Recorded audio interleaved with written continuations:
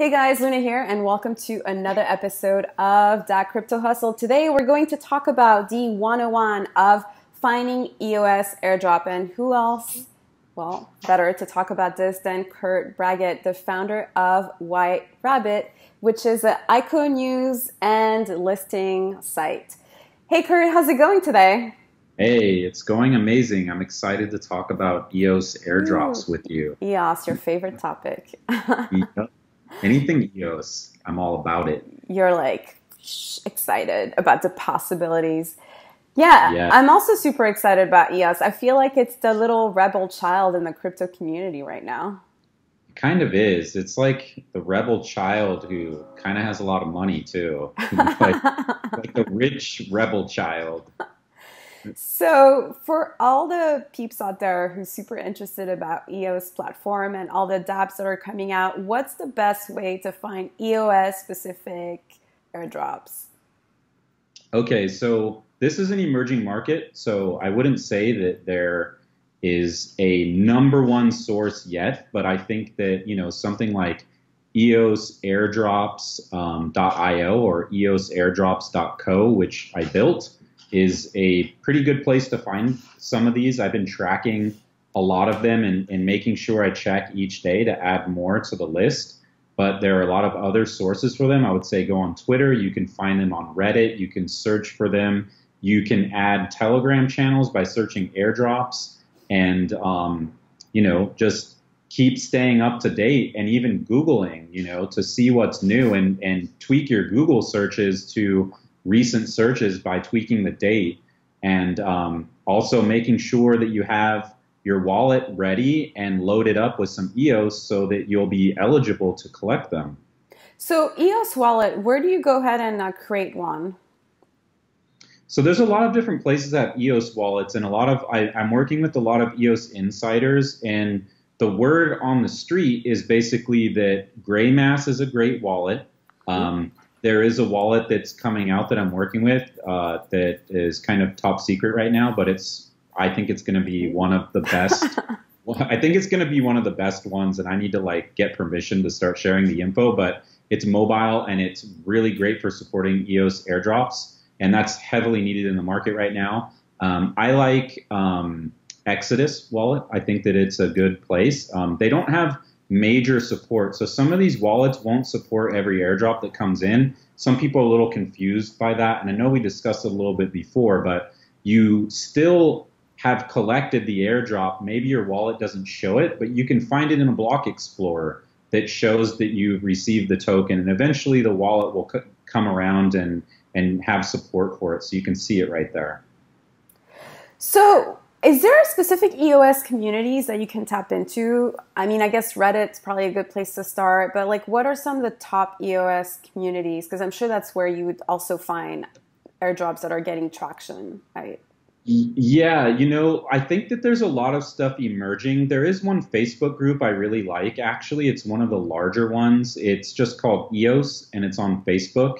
And I feel confident that they will be covering airdrops, but mm. if you're really interested in airdrops specifically, eventually you're going to want to be part of a listing site that has maybe uh, reminders or something. Um, and so that would be like EOS uh, airdrops.co. We have uh, tracking over 100 of them right now. Um, and then get ready, make sure you're ready by the date, make sure you know what you have to do to collect them.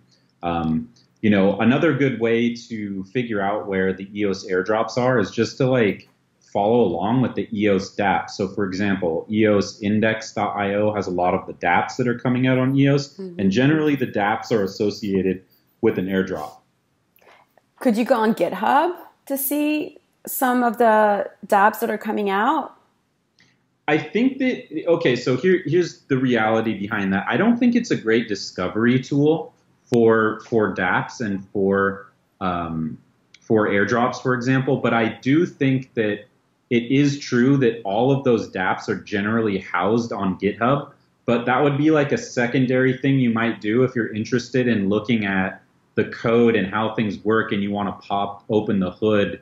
Um, but as far as like community engagement, it's more about a developer focused way of looking at it. But you probably could if you were like doing some investigative journalism, like figure out information before Twitter, but like we're talking like you have to be Sherlock Holmes to figure that shit out, you know? Yeah, I mean, I do remember reading somewhere that GitHub is a good way to make sure that a coin has traction by looking at whether or not they have active files versus a scam, which they wouldn't. They would just have a GitHub account and then no activity. So making sure that there's activity is a good way of cross checking the information. Yeah. Yeah, totally. I, I believe that's true. Having a development and engineering background, I think that I would trust a project that has more contributors and active contributors. And you can see pretty quickly by hopping in their GitHub and clicking on Pulse. And then you can see uh, how much activity is truly happening. Like I've been able to figure out that coins are just kind of fizzling out by looking at their pulse, which is analytics on how much contributions there are on and GitHub, can, right? On GitHub, yeah. yeah, and and going to GitHub Pulse and and you can see like wow, there was a lot of contributions. Like one thing that's just a typical thing that I've seen is that right before the crash just recently happened, or not the crash, but maybe the, the major correction after February, um, I saw a lot of people that were really excited about contributing. It's weird, like developers are all like, yeah, we're all about open source and we're not like greedy at all, but like the, when the price goes up, it's like the contributions go up. And then when the price goes down, you see like the contributions go down. If you're not about money, then like how can that happen? I mean, I'm not trying to call them out. I, I love all these guys, but you know, like you can see that the the contributions correlate with the price sometimes. So. Well, I feel that's happening as well with the overall chatter as well on Facebook, because yeah. probably a lot of crypto enthusiasts on Facebook are more newbies. So a lot of these yeah. groups I've been active on, I just don't see as much traction as I probably was in December, where my feed was blowing up every day. yeah. That's interesting. Yeah, sure. So another question I want to ask you, though, um, two two two. What did I want to ask you? Forgot. Oh, I like your uh, your your rings right there. Ah, yes. You can do some damage with that thing. Oh, this is my weapon. nice. I like it. Yeah, it's a friend of mine from New York City Bejewels, a little plug. And mm-hmm. uh, she's an amazing jewelry designer. I've had this for 10 years. Wow. No, I think I've seen it before. It's pretty awesome. Yeah, I always wear it. That's why I always wear it. Oh, I want to ask you a naughty question. Okay. Uh, which EOS DApp are you currently looking at?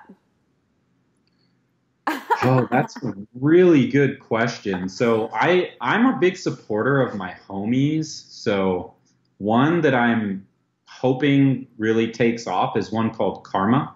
Okay. Um, and that's uh, built by Dallas uh, Rushing and his team, and they were just featured in EOS IO. I think that actually the EOS IO uh, Medium is a great source to kind of look at like emerging dApps. Yeah. And they were just uh, featured in EOS IO, and uh, Dallas also has a YouTube channel that's pretty good, and he covers a lot of EOS topics. So I'm looking out for them. And what Karma does is they have an application that allows people to kind of be good Samaritans and get rewarded in their tokens.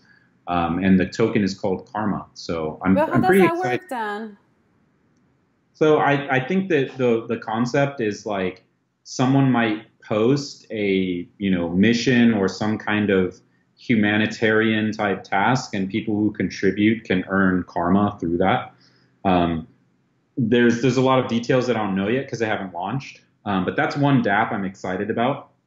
There's a whole suite of uh, EOS-based games. I just tried one out from one of the EOS core devs. It's also very secret, but I thought it was pretty cool because let me see, what can I say about it? It seemed like one of those old school like Nintendo games that's like kind of medieval, like those like storyline. games. I forget what they're called, but I saw one of those that looked pretty compelling. I think games are going to be a really good thing for for EOS. So I'm excited about some of that stuff. It's really interesting you say that because um, I read this whole article. Roham, one of the founder of CryptoKitties, was talking about the importance of gaming in the crypto space and how it's definitely going to help with mass adoption. So you're absolutely right. Games. And that is we we should be doing a video on that by the way. That's yeah. a topic that I have a lot to say about. But yeah, I agree 100%. Gaming is is everything. Well, games and porn. So I think Yeah. that that's what that's Unfortunately, so. yes. I mean, it's it's actually I feel like like I'm I'm really surprised that there isn't more porn related to crypto. It's not like my thing or something, but I think that Isn't Verge? that's- that's what grew that's Yeah. what grew the internet. So I'm, I feel like there's something weird like maybe the internet's changing where now nerds are going to drive the market and not porn or something. You know, so I, yeah. So I mean, it's and also what's really interesting is that a lot of the early adopter in, in cryptocurrency are usually gamers because it's a great. I mean, because they understand the concept of tokenization, especially when you're in a game and you're trying to like collect coins. I mean, Mario Brothers, right? Yeah, and I, I think that there's a, a really good reason for that because you know these traditional institutions are like, well, let's digitize these you know assets, but like gamers are already there. They're assets that are in their games and these things they've earned. They're already digital. It's just that they don't have any liquidity. So if I do all this work to like you know earn this magical sword in some game, like it's just locked up in that game forever. I want to be able to sell it, and some other kid wants to be able to buy it, you know, but there's no market for it. So that is going to change for sure. Yeah. So I guess that's a little trick there. Look for EOS gaming airdrops. Yeah, for sure. little and play tip. games and earn And- the tokens early so that, and not investment advice, but earn them early so that if there's a high demand on them, maybe they'll appreciate. You never know. Yeah, exactly. Not investment advice. I Yeah. love it. Do we even have to say that? I think I should just put that in bold in the description. Yeah, just like plastered over our faces. Yeah, exactly. All right, awesome, Kurt. Well, thank you for the debrief. Lots of uh, great knowledge bombs here.